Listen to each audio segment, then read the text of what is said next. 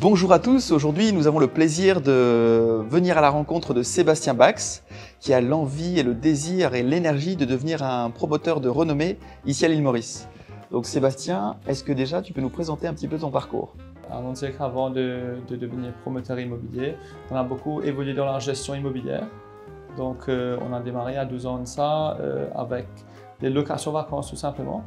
Et avec un petit portfolio, on a, on a, on a grandi, on a décidé de devenir gestionnaire immobilier pour pouvoir s'occuper des, standards et euh, de pouvoir gérer le côté opérationnel pour les propriétaires.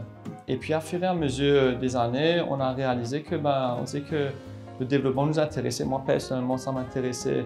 À fur et à mesure, ben, je, me suis lancé dans le premier développement qui est Mantakov. Donc, on est là aujourd'hui euh, à Mantakov.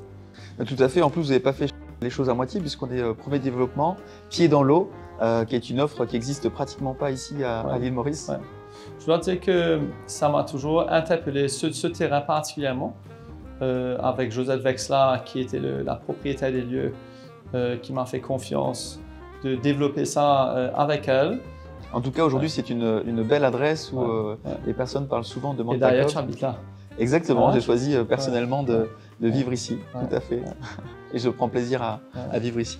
Euh, on a d'autres projets qui, ben, qui, qui, vont voir le jour bientôt, comme The Water Club, mhm. qui est à l'entrée de la balise, euh, qui commence à prendre forme actuellement. Euh, on, le voit du Siloy. quand les gens passent en bateau, c'est évident à droite. Parce que c'est pied dans l'eau aussi, du coup. Pied dans l'eau. Et c'est un peu ça, la griffe d'horizon, c'est ben, d'être pied dans l'eau, quoi. Tout à fait. Alors, qu'est-ce qui vous a vraiment motivé entre le fait d'être euh, gestionnaire reconnu ici et de devenir maintenant un, promoteur de renom? Euh, je crois que c'est juste là, là, là d'avoir senti la capacité de pouvoir le faire et de, de, de pouvoir le faire bien. Mhm.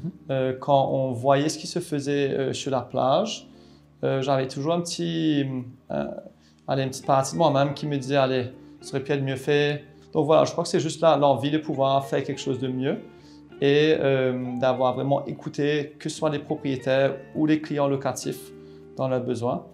Euh, la dernière chose, c'est que moi, j'ai beaucoup, j'ai beaucoup à faire aux étrangers dans ma vie de tous les jours. Mhm. je, suis sud-africain de, naissance. Et je crois que le fait d'avoir cette double nationalité et la possibilité d'avoir euh, des clients sud-africains m'a poussé quelque part à, à, rentrer dans ce métier. Très bien, alors on est sur un marché très compétitif ici à, l'île Maurice, mais aussi à, l'international. Donc quelle est la valeur ajoutée Horizon? Alors, en fait, euh, le fait qu'on soit, soit gestionnaire immobilier à la base, c'est quand même un gros atout. Mhm. Euh, c'est un vrai service qui, allons dire, qui, contrairement à, à parfois d'autres développements bah, qui ne n'offrent pas un service ou peut-être un service un peu à moitié, euh, c'est un vrai service qui a du, qui a du vécu mhm. et où on peut vraiment aller se, se, projeter dans le, dans le futur d'un point de vue financier, d'un point de vue qualité. Euh, et donc ça c'est un point. Et puis l'autre point c'est juste le, fait d'effectivement avoir été très curieux dans le passé euh, et, et, à travers la curiosité, vraiment l'apprentissage du métier en profondeur, des bons partenariats avec des gens et des équipes qu'il faut. Donc c'est vrai que de, mon côté, euh, quand je, vois un petit peu ça, une des valeurs ajoutées, bah, déjà c'est le choix euh, que vous faites au niveau des emplacements, de la localisation. Aujourd'hui, je, je, sais, je, avant que j'ai un feeling sur euh, quels sont les sites qui peuvent marcher. Mhm.